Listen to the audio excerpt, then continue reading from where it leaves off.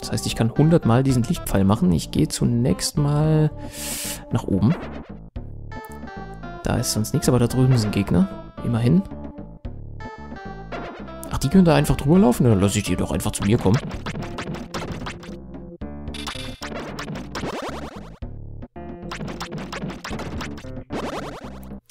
Dann können die ja einfach zu mir hier rübergelaufen kommen und dann mache ich die kaputt. Okay, diese Blockmöglichkeit ist anscheinend nicht stark genug, um Gegner effektiv und schnell zu zerstören. Deswegen muss ich weiter draufschlagen, aber das wird ja so programmiert. MacGyver befreite einen Vogel. Da ist ein... F Da ist ein Vogel, der vor Turbos Grabstein schläft. Nein, es ist der Vogel. da ist ein Vogel. Ist ein bisschen... Ups, ein bisschen doof gemacht, dass man nicht immer gleich erkennt, ob die Stimme jetzt zu einem Charakter gehört oder ob das so quasi der Erzähler ist. Hm. Okay. Zack, zack, zack. Da auch noch dran vorbei.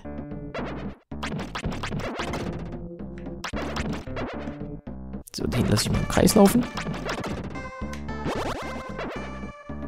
Das war noch nicht der letzte, da kommt noch einer. Mindestens einer. Autsch.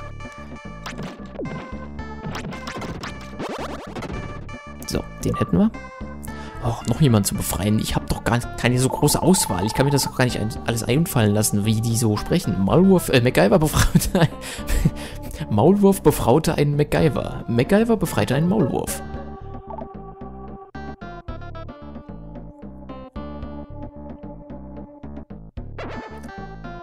So. Da kommen jetzt alle noch mehr Gegner.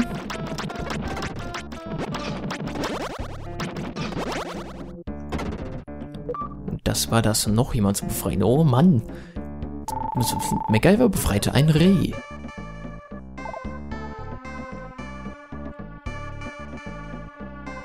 Ich hoffe mal, dass von denen nicht allzu oft neue kommen oder dass sie nicht allzu oft immer wieder auftauchen, denn ich kann mir die Stimmen ja nicht merken. Ne?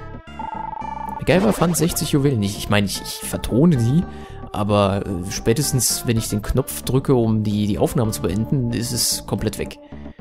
So, das hier ist wohl was für, oder von den Skorpionen. Ja, genau, das muss die Skorpionhöhle sein. Ah, ja, dann gehen wir da nach oben. Mal sehen. Da kommt ein Feuermensch raus. Ach, die Flamme ist doch doof. Okay, das war genauso blöd. Ich stürze mich da einfach mal rein. Okay, das ist der Weg nach unten, den haben wir schon gewählt. Ich möchte jetzt aber zunächst mal den Weg hier nehmen. Denn genau, der führt dahin. Wen haben wir denn jetzt befreit? Befreite ein Eichhörnchen. Jetzt, wo ich das Obst so sehe, bekomme ich Hunger. Irgendwie. Naja. Gibt ja, nachdem ich hier aufgenommen habe, werde ich mal schön was zu essen machen. Für meine Freundin und mich.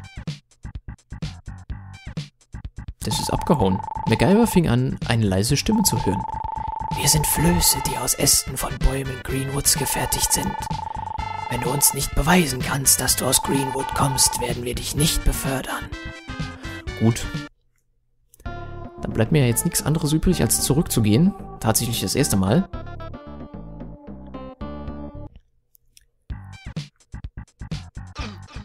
Okay, die Blumen kommen auch immer wieder zurück, das heißt, die muss ich auch nicht unbedingt zerstören. So, dann gehen wir da mal rein. Ich speichere mal schnell ab. Eine Stimme kam aus den Wolken. MacGyver, wie kann ich dir helfen? Sicher. Ich werde deinen Fortschritt aufzeichnen. Ist das okay? Jo. Aufzeichnung beendet. Möchtest du weitermachen? Ja. MacGyver, du hast dich wacker geschlagen. Gib jetzt nicht auf. So, wo fange ich jetzt an? Ich fange mal am besten links oben an. Da ist nämlich das Eichhörnchen. Turbo, der Hund lebte einmal mit einem Mann namens Dr. Leo. Turbo hat ihn viele Dinge gelernt. Er hat die Äste der Bäume benutzt, um etwas zu machen, das man Floß nennt. Ja, okay, jetzt wiederholt das Ganze nochmal. Das heißt, wir sollten einen Hund namens Turbo finden. Denn der könnte uns ja weiterhelfen. Wir haben ja gerade eben Flöße kennengelernt. Dies ist ein Restaurant. Möchtest du die Karte sehen? Ja, Wunderbar, unser Tagesmenü besteht aus dir. Ich hab nur Spaß gemacht, sei bitte nicht beleidigt. Dieses Restaurant ist bekannt für sein köstliches Essen und seine Fruchtsäfte. Wiederholst du das Ganze? Ja, okay. Nein, eigentlich wollte ich die Karte nicht mehr sehen. Dir. Okay. Ja, ja, ich hab's kapiert. Gehen wir doch mal zum nächsten Hund. Ich kann etwas am Geruch erkennen. Na gut, lass mich an die Arbeit gehen. Wo gehst du denn hin? Ich kann etwas... Ja, okay. Ich folge dem jetzt einfach mal. Ne- Nein, nicht nochmal. okay. Depp, jetzt nicht mehr den Knopf drücken. Von rechts rieche ich frische Luft. Von unten rieche ich einen Maulwurf. Was ist das für ein Geruch? Ich rieche etwas Seltsames aus der oberen Richtung.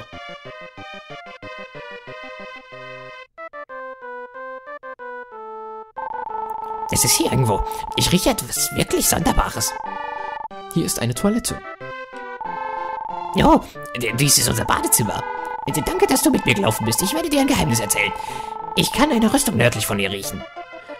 Okay, die will ich auch. Aber zunächst mal geht's zum Eichhörnchen. Ich muss einen Spaziergang machen, um etwas abzunehmen. Oh, ich stehe dir im Weg. Okay. Achso, du läufst mit mir mit? Redest du auch mit? Warum ich dir folge? Nun ist purer Zufall. Dann laufen wir einfach hinterher. Gut, in diese Maulwurfslöcher gehe ich mal noch nicht rein. Ich erkunde erstmal hier alles hier oben. Ach, nehmen wir mal die, das Baumchen da. Achso. Okay. Gut. Was haben wir denn hier? Hallo, ich bin ein Mitglied des berühmten Woodsin-Trios. Normalerweise haben wir hier immer eine Show laufen, aber ich kann meine Partner nicht finden. Ja, einer steht direkt neben dir. Ich habe immer die Hoffnung, dass sie noch was anderes sagen, deswegen gucke ich da nochmal nach. Ich bin Alex, der Boss des Woodston-Trios. Unsere Show ist wirklich aufregend. Schön, das glaube ich dir jetzt mal. Auch wenn ich davon noch nichts gesehen habe. Gehen wir doch mal zu dem Eichhörnchen da drin. Ich rieche köstliche Samenkörner. Körner. Körner. Du hast welche, nicht wahr? Äh, ja, Moment. Wo sind die? Da. Ich biete dir dieses Schwert im Austausch gegen die Samenkörner. MacGyver hielt das Psychoschwert. Nehmen wir das doch mal. Das ist auf jeden Fall mal um eins stärker. Lähmung für starke Monster. Sehr schön. Was haben wir da oben? Kann ich da irgendwie noch was mitnehmen oder so? Nö. Na gut, dann gehen wir jetzt wieder nach draußen. Das Trio hatten wir, dann haben wir da den Vogel. Rede mit dem Baumstumpf und höre ihm gut zu. Hier ist Greenwood. Dieses Land wurde von einem Hund namens Turbo errichtet. Er hat diese Stadt erschaffen, um den Tieren einen Platz in Sicherheit zu geben. Okay. Dann haben wir noch einen Hund. Komm bitte mit mir. Ja, Okay, los geht's. Ja, wo willst du denn hin? Die Insel da drüben ist ein Friedhof. Mein Zwillingsbruder hält dort Wache. Okay. Ach, das ist jetzt der, der Tourguide quasi durch das... Dies ist das Grüne Theater. Eine Gruppe namens Woodson Trios sind sowas wie die Lokalhelden hier. Danke, dass du mit mir spazieren gegangen bist. Oh, noch eine Sache. Wir Tiere reden nicht mit, nur mit unseren Stimmen, sondern auch mit unseren Körpern. Wenn ich mich so bewege und mit dem Schwanz wedle, heißt das Danke. Hast du das schon gewusst? Äh, nö. Wenn du einen bestimmten Maulwurf findest, kannst du im Dunkeln sehen. Sprich am besten mit allen Maulwürfen. Ja, das werde ich machen. Zunächst mal möchte ich aber hier erkunden, was hier so abgeht. Die Vögel erzählen viele Geschichten. Ich bin ihnen dankbar, weil ich mich ja nicht bewegen kann. Die Vögel erzählen mir, dass Lostzeit drei Tempel hat. Einer heißt Wasser, einer Feuer und der dritte Licht. Wo oder was auch immer Lostzeit ist, werden wir vermutlich noch rausfinden. Da kommt ein Vögelchen. Wir sagen den Bäumen, was in der Gegend passiert und dafür geben sie uns Futter. Ich werde es eine Art nützlicher Freundschaft nennen. Gut. Kann ich mit dem Krokodil reden? Wer bist du? Versuchst du über mich drüber zu laufen? Ja. Du hast Nerven. Okay, aber tu mir nicht weh. Puh, das war knapp. So, kann ich auch mit dir reden? Soll ich mit dir reden? Nö. Wen haben wir denn hier? Ich bewache den Friedhof. Ich höre jemanden schnarchen, kann aber nicht genau die Richtung feststellen. Da? Hund? Da? Okay. Traumstab. MacGyver berührt den kleinen Vogel mit dem Traumstab.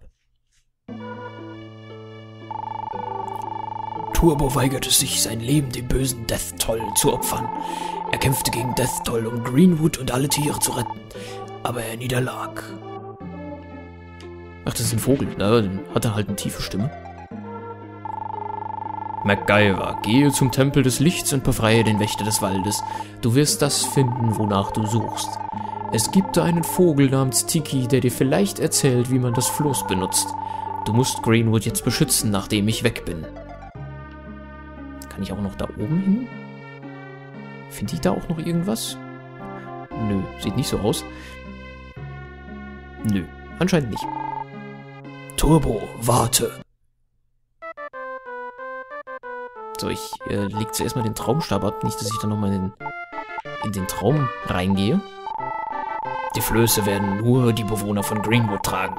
Wenn du uns etwas bringst, was einmal Turbo gehört hat, helfen wir dir vielleicht. Man hat ein paar Blätter von Greenwood zusammen mit Turbo begraben.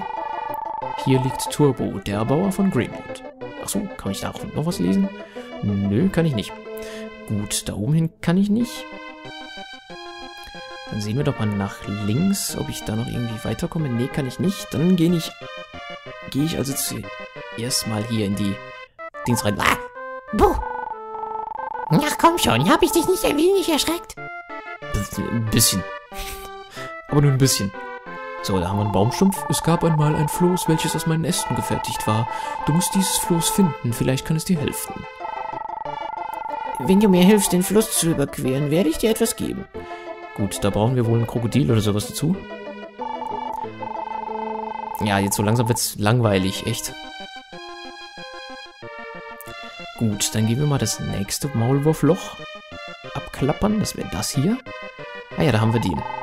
Ich wühle immer in der Erde und manchmal riecht, finde ich richtig seltsame Sachen. Ich habe gerade dort rechts unten ein paar Hundeknochen ausgegraben. Ich habe mich erschreckt und sie wieder vergraben. Okay, dann muss ich ja da unten rechts irgendwo Hundeknochen finden können. Vielleicht hier irgendwo? Nö. Da nicht. Gut, hier war anscheinend nix.